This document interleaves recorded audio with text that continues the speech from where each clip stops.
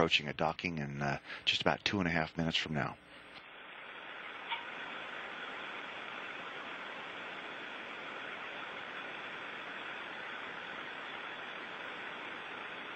Five meters, 0 0.7, target nominal. Systems nominal. Five meters out. Five meters, 0 0.7, systems nominal. One meter, 0.6, target nominal. The system's nominal copy 4 meters, 6 is the range rate.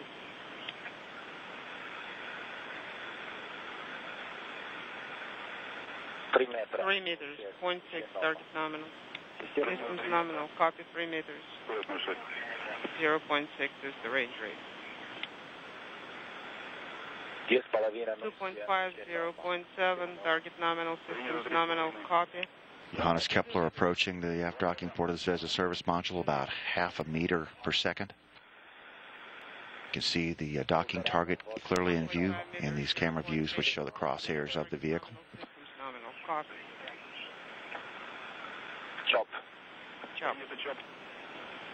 And the chop command has been issued, means that the crew's hands off now from its controls and the automated systems are in control. Systems nominal, Принято система норма. Copy system nominal. Standing by for capture. Copy. Uh, are you ready with the ISS Apache? Yes, Ксения. Contact confirmed. Capture confirmed. Copy, copy. Second, 2, No.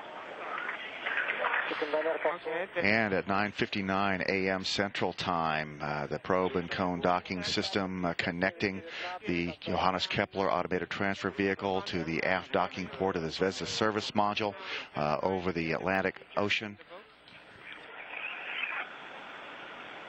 Copy.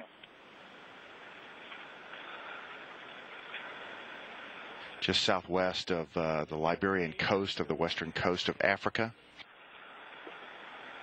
And now the uh, Russian solar arrays for the Zvezda service module seen uh, slewing here as they uh, begin to track the sun again. They had been uh, paused uh, uh, to uh, provide uh, the best possible views of the ATV's arrival. For the laptop. So a successful docking of Johannes Kepler, the second automated transfer vehicle to provide deliveries to the International Space Station. 393, copy.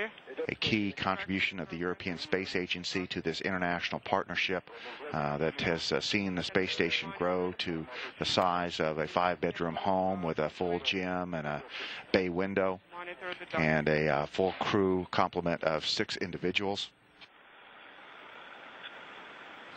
The Expedition 26 crew, uh, of course, commanded by Scott Kelly, with uh, Alexander Kaleri, Oleg Skripochka, Dmitry Kondratyev.